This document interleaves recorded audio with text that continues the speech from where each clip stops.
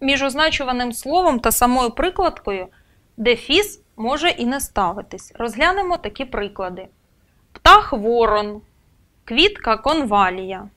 Як бачимо, дві загальні назви опиняються поряд, але за тематикою, помітьте, прикладка виступає видовою назвою, як то кажуть. Отже, птахів є багато, а видів птахів конкретно в даному випадку маємо із видів птахів саме воронів. Квіток є багато, але йдеться про такий вид квіток, як конвалія. Ну, це біологічні, як бачите, терміни. І в такому випадку вони зрідка зустрічаються, але дефіс між ними не ставиться. Наступний приклад красуня дівчина і небіжчик дід. Зверніть увагу, якщо б ми записали ці слова навпаки, а саме дівчина-красуня,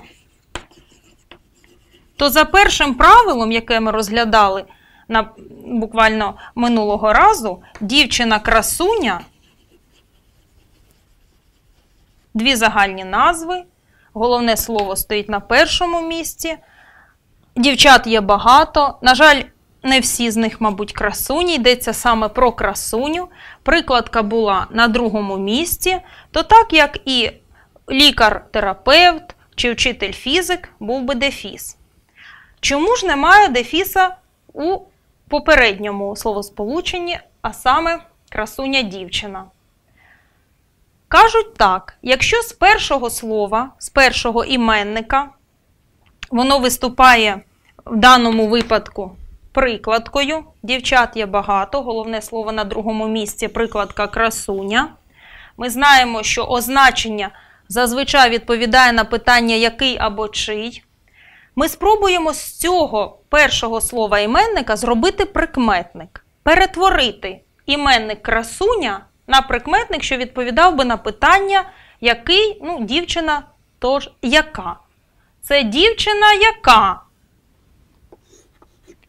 Ця дівчина красива. Це звичайний прикметник.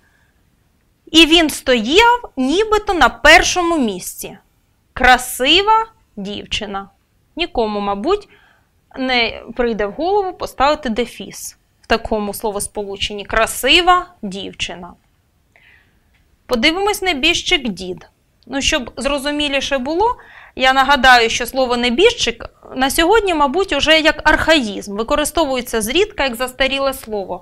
Але в давнину небіжчиками називали померлу людину, ту, що вже вмерла. Отже, йдеться про діда, який вже помер. Насправді, головне слово дійсно дід. Дід який? Ну, мертвий чи померлий. Напишемо для себе. Померлий дід. На першому місці стоїть прикметник, в даному випадку діє прикметник, але все-таки з іменника небіжчик, що стояло на першому місці було прикладкою, ми можемо зробити прикметник. В такому випадку ми дефіса між двома загальними назвами іменниками, одна з яких є прикладкою, дефіса не ставимо.